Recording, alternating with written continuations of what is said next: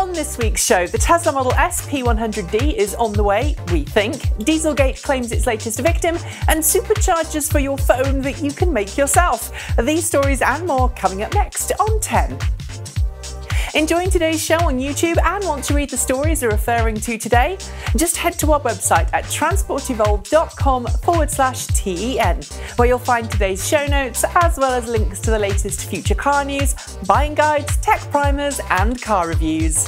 It's Friday, March 11th, 2016. I'm Nikki Gordon Bloomfield, and today's show is brought to you courtesy of the 93 people who are currently supporting our hard work by pledging their monthly support over at patreon.com forward slash transport evolved.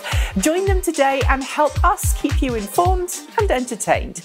Ever since Tesla Motors unveiled its Model S electric sedan back in 2012, it's regularly trotted out minor and not so minor upgrades to keep the luxury car at the forefront of both the electric and the premium car marketplaces.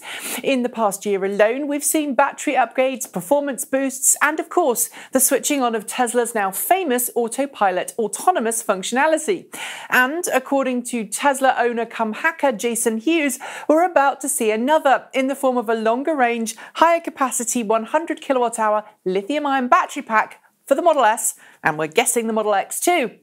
As we explained this week, Hughes has been involved in a multi month teardown of the Tesla Model S's software and discovered a new vehicle badge value in a recent Tesla update that, when decoded, reads P100D.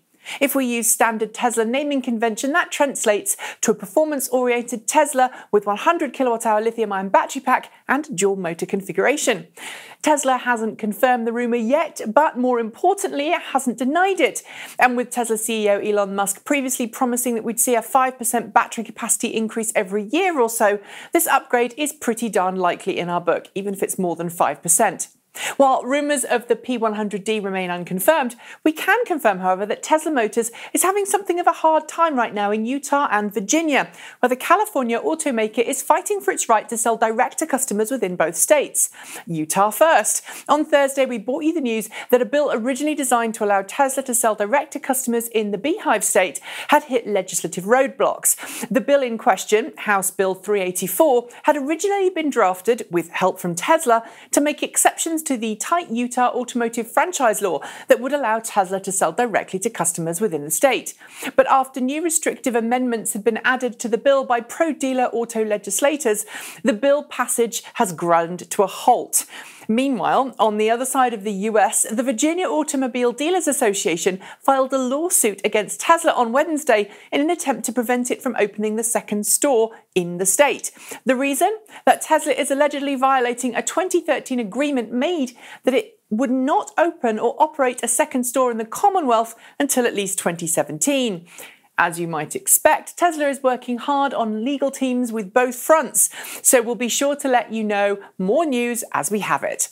From Tesla's ongoing battles now to an ongoing problem being suffered by Japanese automaker Nissan, namely the problems with its Nissan Connect EV telematics system. As those who've watched the last two shows will know, Nissan has suffered a plethora of problems of late with its remote telematics system, including a massive security flaw which meant anyone could access your vehicle with a VIN number without knowing your telematics username and password. Well, as a consequence of that security breach, Nissan took its North American web portal offline this week for several hours, citing IT security concerns. Since then, the site has come back online, but you've got to admit Nissan is having a pretty naff time of it of late when it comes to remote telematics, right? From Nissan's tale of ennui now to a far happier story, courtesy of fellow Japanese automaker Mitsubishi.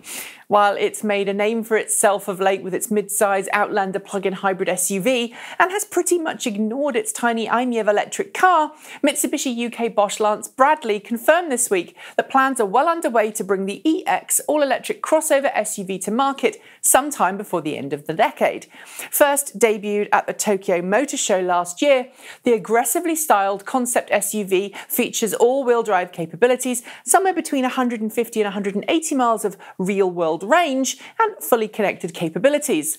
It also previewed a time in the not too distant future where Mitsubishi's vehicles, like everyone else's, are fitted with autonomous drive capabilities and can take over the chore of the daily commute or heavy traffic to leave you free to do other things. As we explained on Monday, the name isn't yet set in stone, nor is the specification. But given Mitsubishi's leanings towards the SUV market, we think this model will be a good fit for both the company and its customers. No longer a good fit, it seems, however, is Michael Horn, who started this week as president and CEO of Volkswagen North America, but by Wednesday had left his position amid growing unrest over the Volkswagen Dieselgate scandal. The executive, who's been at Volkswagen for 25 years, had until Wednesday managed to avoid the fallout surrounding Volkswagen's intentionally programming certain model year diesel cars with a program designed to circumvent or cheat US and European emissions tests. But it seems with a federal deadline fast approaching for a civil case being filed against Volkswagen by the US EPA and others, it seems that Horn's departure was something of a certainty. It's not clear what kind of compensation, if any, he'll get for leaving, but we understand the decision to do so was made by mutual agreement. If that isn't code word for sacrificial lamb, I don't know what is. Another company focusing increased pressure this week, I'm not calling it an automaker yet because it certainly hasn't made any cars to date, is California based Faraday Futures, or Faraday and Futures, or FF, depending on whom you ask. Continuing the company's less than stellar track record this week came the news that it's been particularly tardy to pay its bills. As the folks at Inside EVs alleged midweek, one creditor to the electric car wannabe claimed they owed more than five figures in services and goods rendered. But interestingly, the story broke just as FF was busy agreeing to pay the state of Nevada a $75 million bond to ensure state taxpayers who will pay for a massive $335 million in tax breaks for FF to build a factory north of Las Vegas, wouldn't lose out if that planned $1 billion factory doesn't actually happen. More interestingly, shortly after the story hit the wires, the creditor, who had been chasing FF for months and said that it stopped returning calls more than a month ago, suddenly got paid. Hmm, I guess there's something to be said for the power of the press after all, eh? From a company that's still very wet behind the ears to one that's just celebrated its 100th birthday in the form of German automaker BMW. And while the company has gone through lots of changes in its 100 year history, it paused this week to showcase what it thinks the BMW of the distant future could look like. Called the BMW Vision Next 100 concept, this super sleek car reminds me a little of the Audi concept car we saw in iRobot and actually has a fair bit in common with that unusual vehicle. There's fully autonomous capabilities, of course, as well as fully covered wheels and a zero emissions drivetrain. There's also full internet connectivity, of course, as well as an augmented reality windshield that displays all the information a driver or the passengers will need at any one time. The coolest bit though, if you look carefully, you'll note that the whole skin of the car, which is 3D printed of course, shifts and ripples as it drives, allowing weight to be transferred and the car to adapt to its environment almost as if it's a living thing. It's all very, well, futuristic. But while BMW hasn't said what this concept car will be powered by, hedging its bets a little on the electric versus hydrogen debate, it's committing itself to building another all electric, range extended car under the i sub brand. As BMW's head of i product, Henrik Wenders, confirmed to Car and Driver this week, development is now fully underway on the BMW i5, a family friendly electric vehicle that will slot nicely between the BMW i3 and BMW i8 in the German automaker's environmentally friendly sub brand. While Wender confirmed that the BMW i5 will be offered with a range extending engine as an optional extra, just as it did with the i3, he said that the BMW i5 will be an electric car first and foremost and will be designed to occupy the first vehicle duties of a busy family. What does that mean? Well, we're guessing for a far improved all electric range, seating for five, and perhaps a design which is a little less city runabout and a lot more open road. Sadly, we've no pictures or even renderings to share, but we'd guess we'll see this new model before the 2018 deadline if BMW really does want to compete against the all new Tesla Model 3, which is, after all, the car's natural competitor in the electric car marketplace. And that, in a nice roundabout sort of way, brings us nicely back to the car company we started today's show with. Yes, I know we'll get some heat for covering multiple Tesla stories in one show. We usually do. But today I've got some really good reasons to do so. And the first is the announcement of an all new race series involving the Tesla Model S. Yes, I know, this isn't the Tesla Model S, it's Formula E, which to date is the only worldwide race championship for electric cars. It's pretty good too, and I'm not just saying that because I was on the event commentary team for the London finals last year. I'm saying that because despite its flaws, it's helped get people switched on to electric cars and electric car motorsport. But let's face it, with single seat limited range electric race cars driving on temporary city circuit racetracks, Formula E isn't like motor racing of old. It's good, but that car swap mid race, that's not all that popular which is where Electric GT comes in, a whole new race series which promises to debut next year with 10 teams, 20 drivers, and race prepared Tesla Model S P85 Plus electric sedans racing around some of the world's most popular racetracks. As we explained in an exclusive interview this week, the race series eventually hopes to have multiple different electric Grand Tours from different manufacturers competing against one another. But for now, the Tesla Model S is the only electric car which you can buy which actually fits the bill of an electric GT. As for range per race, well, you won't see the kind of range at race speeds that you can get on the public highway, but we're guessing car swaps won't be needed. Proper job. Which brings us to our final story of the day, and one which, yes, is also connected to Tesla.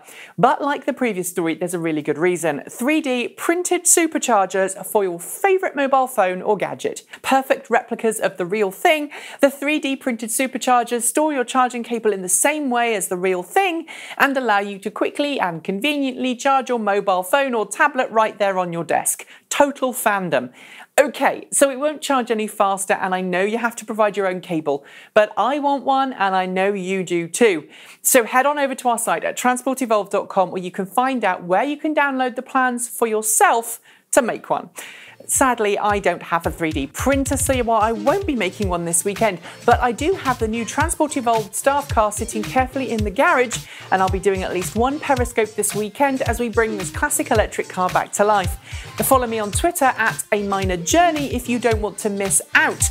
Failing that, we'll be back next week at the same time for another 10. In the meantime, you can find all the news that's fit to print on our website at transportevolved.com. Catch up with us on Twitter at transportevolved or check out our latest shows on our usual YouTube channel.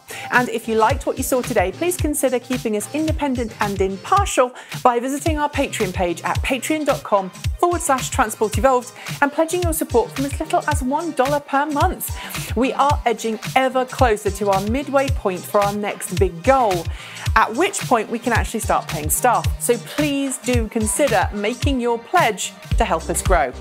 As always, there's a lot we haven't managed to fit into today's show, including the latest in our ongoing staff car 2002 Toyota RAV4 EV restoration, why getting a ticket to the Tesla Model 3 reveal event might be harder than you'd think, a Chevrolet Volt that's still going strong with no battery degradation after 300,000 miles, and why lowering your BMW i3 can make a whole load of difference to its ride and handling. So when we're done, be sure to head to our site to read them all.